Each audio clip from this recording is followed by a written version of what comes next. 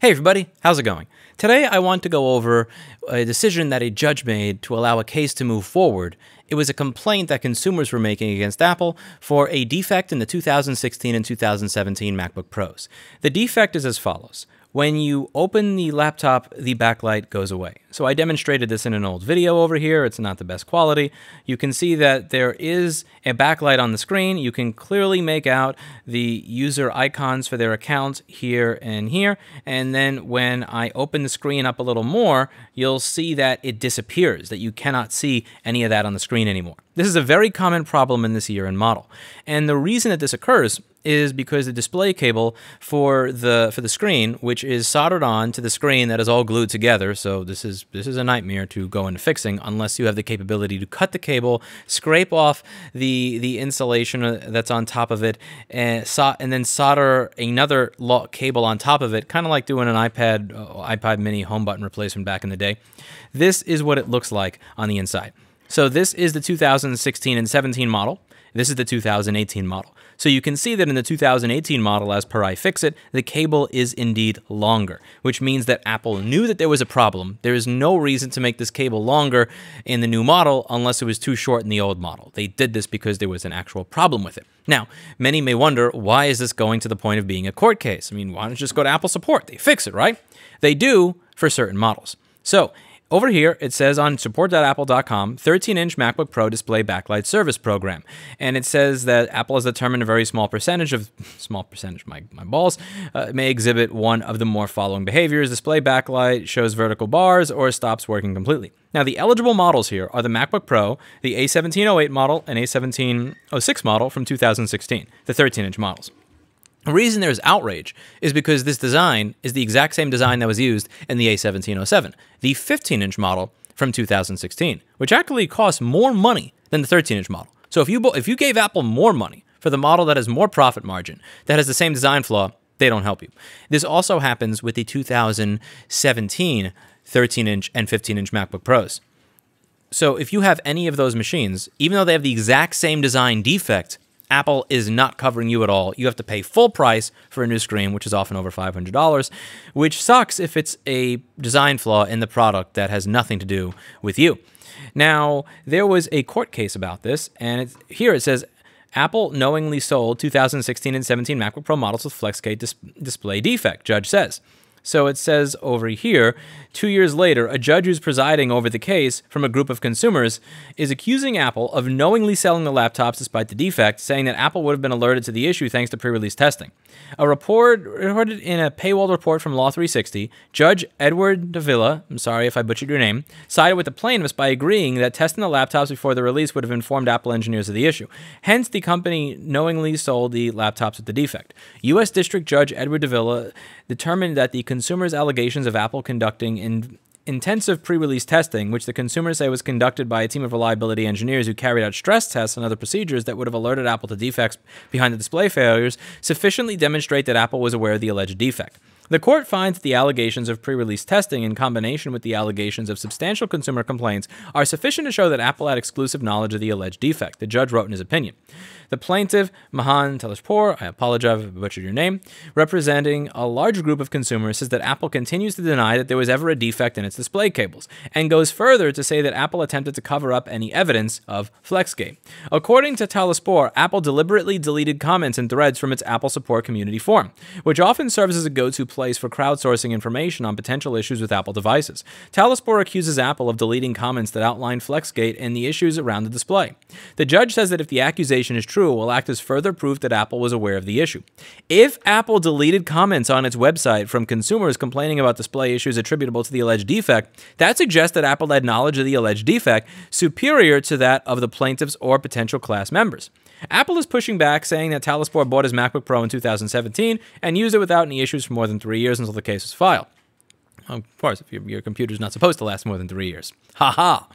Apple also says that the allegation is based on false assumptions, not hard iron facts. Really, motherfucker? So when you go over here and you look at a 2016 17 machine and the cable is shorter than in 2018, that's not a hard iron fact that you're able to fucking measure with a ruler. You can't measure that with a ruler. It's not a fact. Ignore it. My dick is the same size as Ron Jeremy's. Ignore what the ruler says. Like, this, who comes up with this? Specifically, Apple says that the idea that pre release testing of the device would have alerted it to the issue is not accurate. Alexander Wheeler, an attorney for the case, says that plaintiffs are naturally pleased with the judge's current stance on the issue and their decision to allow the case to move forward. Wheeler goes on to state that the specifics of FlexGate, those thin cables stretch and wear out as consumers open and close their laptops. As those thin cables tear, the display screen, which Apple touts as the best Mac display ever, stop working long before the expected life of an expensive Apple laptop. With the release of the 2018 MacBook Pro, Apple addressed the issue by adding a longer cable. So there's a few things to go over in this article. The first thing that I want to go over before I get to anything else is the manufactured rift between users of Apple products and myself in this channel. What I advocate for are typically two things. A, that when the manufacturer makes a mistake, when they screw up, and that screw up results in your product not working properly, that the manufacturer take accountability and responsibility for it.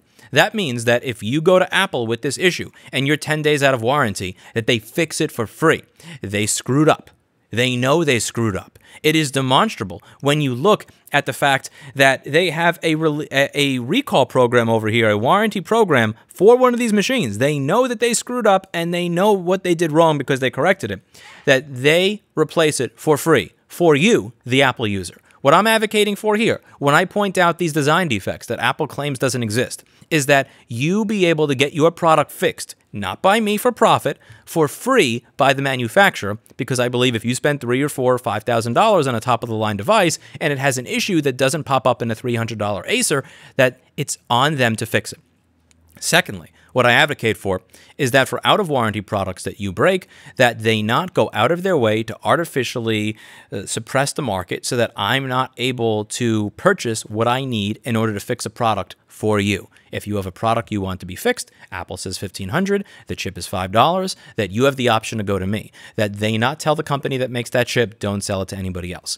I believe that these two things that I advocate for, regardless of the fact that I don't use or like Apple products, would be beneficial for Apple users. Yet there is this uh, there is this manufactured rift where people will say this guy is an asshole, he hates on Apple, and what people try to do is pretend that I hate the actual user of the product, that I'm one of those people that yells "LOL MacFag" in the comment section of 4chan or whatever, that I hate you for what you use. That couldn't be further from the truth. I don't care what you use. I am not bothered by people who use Apple products. What I am bothered by is the way that the company treats their customers. I'm bothered that they will gaslight you and say that this has nothing to do in fact when A, they have already released a recall program because they know they screwed up, and B, they corrected what they did wrong and you can demonstrate it with a fucking ruler as clear as you can demonstrate that my dick is not the size of Ron Jeremy's with a ruler. This is what bothers me. And if I got what I wanted in both of those two cases, if I got what I advocated for, I believe that the lives and the wallets of the users of Apple products would be better. That the people who utilize Apple products, who like Apple products, who want to use them into the future, who like their design, who like their features, who like their operating system, who like everything about them, would not be hurt in any way, shape, or form by me getting what I advocate for on this channel. If they make a machine where the board does this inside the case, that I, what I advocate for is that A, they cover it for you rather than claiming that you did it on your own, and B, that they actually resolder the chip properly rather than put a piece of shoe rubber there and call it a day. This is an interesting one, though, because it also ties in to what Jessa Jones says on iPad Rehab about the Apple Community Support Forum, where they will delete factual information. They often delete factual information on their forum, and it can be incredibly aggravating. This is something that I've gone over in some of my videos on this on this channel. One of them, I believe, had the thumbnail. I forget the title of it. The thumbnail was something like "Do your effing job," and uh, there is one over here where Jessa corrected incorrect information on an Apple repair forum, and she was banned for it. So, for instance, there are certain times where they say you cannot recover data, and if anybody says they can recover data, they are lying to you. Their moderators say that. And when Jessa says, that's not true. I actually recovered data for someone, and I'm in, literally in the news for recovering data from someone who is now a widow as a result of a hate crime, and I got all their stuff from a phone that was covered in blood. That they will delete these posts. Moderators of that forum will delete truthful posts when you say something like, hey, maybe you should take a toothpick and use it to remove the lint from your charge port because Apple does not replace charge ports. They don't replace charge ports. Even if you go to an Apple authorized service provider or an IRP, or an AASP of the store, if you have lint in your charge port, they will not clean it and they will not replace a charge port. It's not listed as a serviceable part, even though it is on a flex cable and not something you solder on. If she posts that on there, they will delete it. So, what I find interesting here is that a court case against Apple that is going to cost them a lot of money is going to cost them a lot of money and is going to move forward specifically because there is evidence of them deleting posts on their forum. Their censorship of truth on their forum is directly going to lead to them losing money, which I think honestly is karma. And maybe in the future, this will lead to this uh, stopping. So this is another one that Jessa did where there's a few videos that Jessa did. Uh, you, you could find it on iPad Rehab on her channel where she goes over her multiple bans from the Apple Community Support Forum for posting the truth. And again, people posted the truth. They said, hey, when my machine does this, when I open it, the backlight goes off, and they were deleting the posts.